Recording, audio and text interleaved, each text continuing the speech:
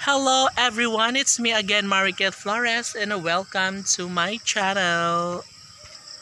Aba, syempre, nandito tayo ngayon sa, syempre, sa ating um, lugar kung saan, yes, magiging masaya ang lahat dahil nga, inuumpisihan na naman natin ang kasaganahan sa ating buhay. Syempre, lahat ng ating mga followers, I mean subscribers ay talaga nga namang thankful dahil nariyan kayo patuloy na nagbibigay kasiyahan sa aking mga puso. Syempre, kung sakali man na magkakaroon nga ng pagkakataon na mahinog na itong papaya namin, ito, yan.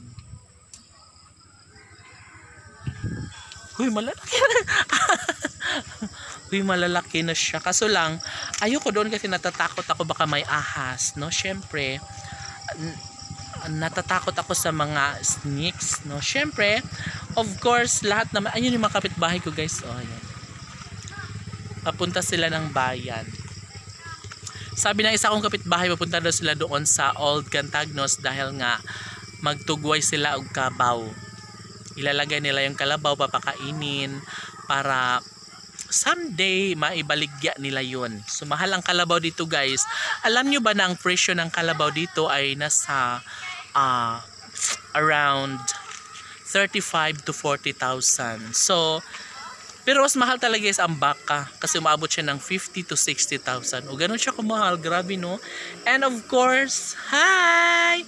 Ay mga bagets. Siyempre, uh, masarap talaga mag-alaga ng mga kahayupan guys. Kasi before nung nandun pa kami sa dati naming sa Old Cantagnos kung saan kami nanirahan dati kung saan kami ipinanganak syempre marami kaming mga alagain doon mga hayop kalabaw um, ano pa ba? Kalabaw.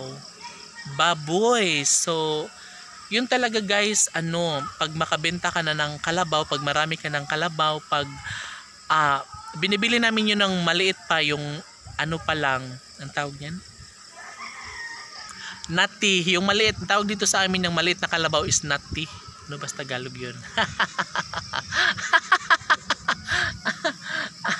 Oo nati yun. Binibili namin ng around uh, 13 to 15,000 o maliit lang yun. Yung, yung kakakain lang siguro 1 year na ang edad nun Oo, tapos binibili namin yun ng 15,000. Tapos, syempre aalagaan namin yun for how many years? Siguro nasa 2 to 3 years. Tagal-tagal din ano. Pero syempre pag love namin yung kalabaw, like mabait siya and syempre tumutulong siya sa mga gawaing uh, pambukid, like nag-aararo siya or ayun, mostly naman ganun naman ang mga ano namin mga hayop, mga kalabaw na talaga nga namang kasama namin sila sa sakahan. Opo.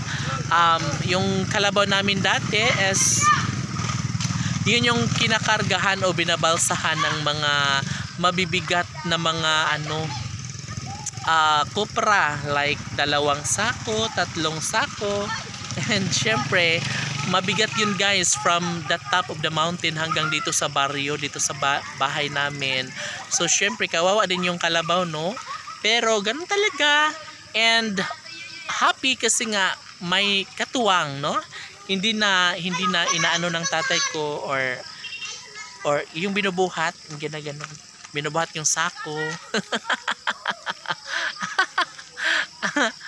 And maski ako guys nagbubuhat ako siguro mga kalahating sako ng uh, kopra yun kaya ko yun dati so syempre ang bakla mangyak-ngyak kasi nga hindi ko bet ang mga ganong eksena yung magbuhat-buhat ng mga lubi, mga kopra dito sa bato ko. Syempre, mabigat yun at syempre ma mahirap ang daan from the top of the mountain doon sa may Tagaytay.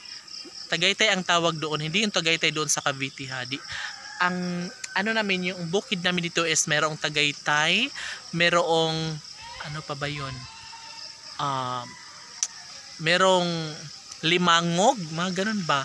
uh, merong kalintaan. So yun mga pangalan yun ng mga bukid dito sa amin.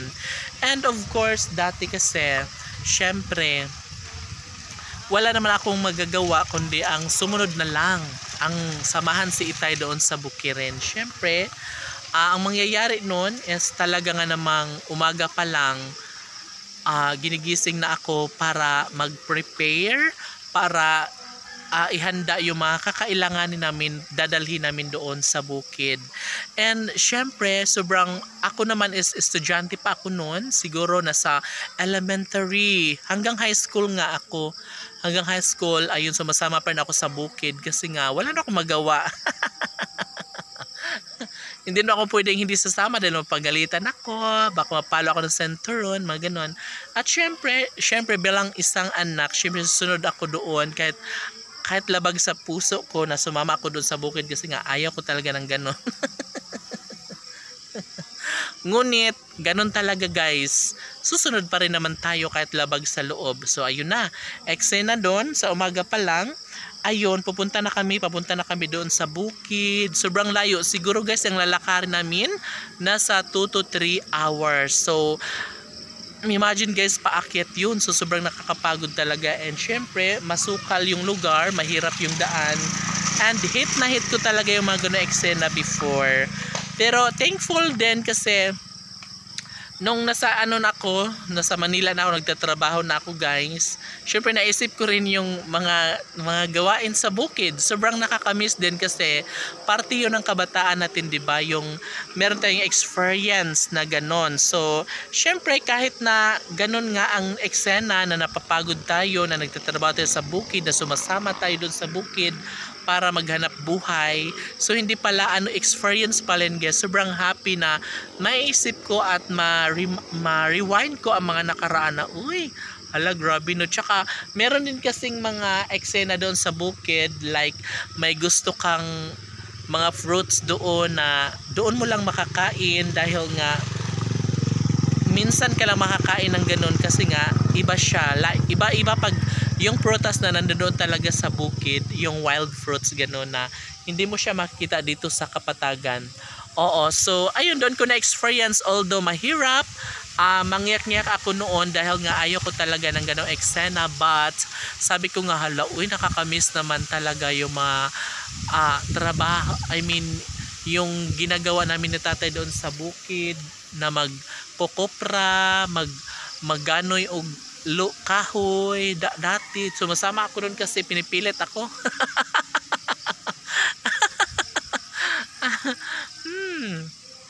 yes uh, kahit ganun pa man ay uh, sobrang kompleto na rin kasi nga masasabi mong wow na experience ko yung ganon. Hindi pala ibig sabihin na uh, ginawa mo yun or tinatrabaho mo yung uh, book gawaing bukid ay hindi para hindi pala yun kabawasan ng pagkatao no.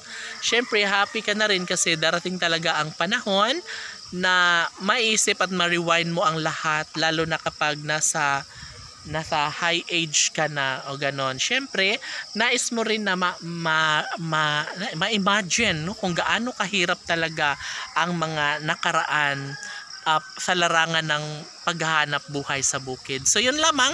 See you again tomorrow. Bye bye. It's me again, Mariket Flores. God bless you.